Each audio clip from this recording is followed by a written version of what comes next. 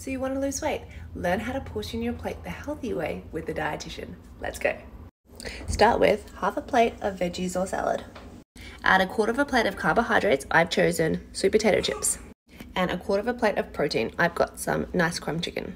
And then add a fat serve to your plate, and I've used the fat as extra virgin olive oil in my chicken.